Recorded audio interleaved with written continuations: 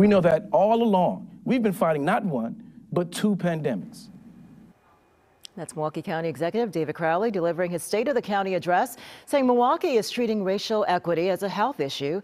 Also highlighting efforts to get more people vaccinated against COVID 19 in the county's most vulnerable zip codes. And this morning, the county executive is here live in person. Yes, thank you so much. Our first time, well, actually, our second time yeah. yes. meeting. yes. Uh, apparently, I met him a long time ago when we were both lads. he was a lad. Um, but such a pleasure to have you here in person. Um, and that is, we can thank the progress that we've made in fighting COVID 19.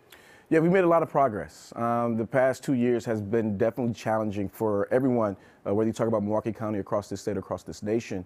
Uh, but you know, we've wanted to use this challenge as an opportunity. So we were able to create like a COVID-19 dashboard to really focus on where's the disease spreading at, who is vaccinated, and how should we deploy our strategies in making sure we have a healthy community. And that was part of some of the things that you touched upon in the State of the County address. Mm-hmm.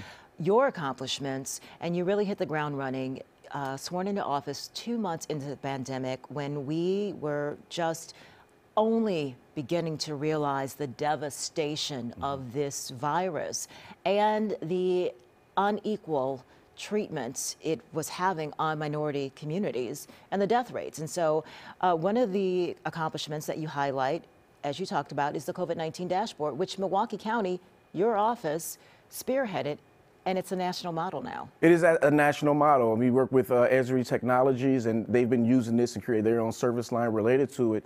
Uh, but we use that data, and, and, with the partnership with the city of Milwaukee as well as the state of Wisconsin, we were able to create the, the zip code program where we focused on 10 of the most vulnerable zip codes uh, and got life-saving vaccines to those individuals, working with uh, public schools or other community organizations. And the pop-up, the mobile clinics. The mobile making, clinics. Taking the vaccine and putting it where the people need it the most. Oh, absolutely. Even a Healthy Homes program. You know, you have a lot of individuals who are stuck at home and who can't, couldn't get who online. Who couldn't leave. So we wanted to make sure that we not only reach those individuals, but their caretakers and everyone who lived in that household to make sure that they were vaccinated. So that a very big accomplishment uh, for your office, for you in that position.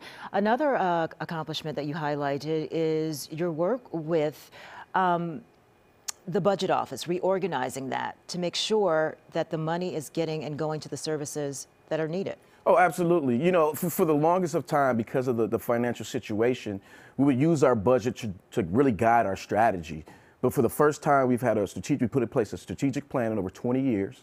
And we wanted to make sure that our strategy is actually driving our budget. So now our strategy director is going to be within the budget office, the performance and strategy and budget office, to help guide how we invest our dollars in the community to move the county uh, forward for everyone. We want to make sure that county government works for everyone. And the pandemic still um, an umbrella over everything that so many of us, that all of us do.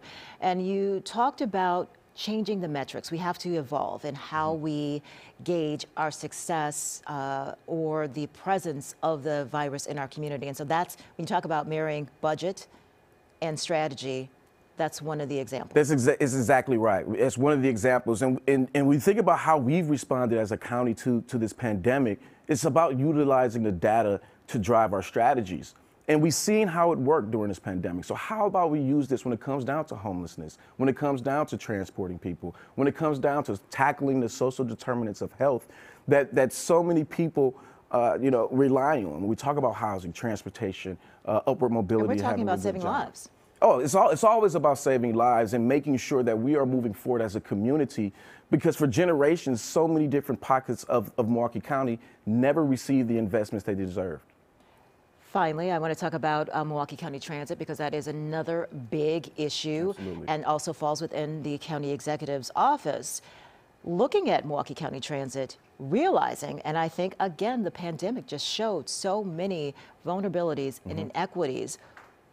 When the transit stopped or only five people were allowed on the bus, that affected households. Oh, it affected everyone. Um, it affected uh, you know, every school. It affected medical providers. It affected you know, people going to and from work. And so we are really excited about what we have been able to do with MCTS Next, making it more efficient for riders, making routes Shorter faster, times, shorter times. routes. Um, but also, you know, making sure that you know a smart fare box as well is going to be going online really soon to make sure that everyone, no matter how you're paying, whether that's by credit card, uh, by cash, that you're paying the lowest fare possible. County Executive, thank you so much. A pleasure for you to be here. And really, we just wanted to highlight and help people understand what the County Executive's office does. Um, you know, when you vote, this is what you're voting for. Oh, absolutely. Lo- local governments matter. And, Yeah. you know, we're always going to be on the front lines, not only of the pandemic, but when it comes down to, to treating the, the root causes of the issues of this community. Okay, gotta go. I just have to say, he shared with me that I spoke to his high school class. That's how far we, we go We back. go back. apparently. Hey, I appreciate right, you. Thank appreciate you. everything you do in the community. I appreciate you. More Wake Up after the break.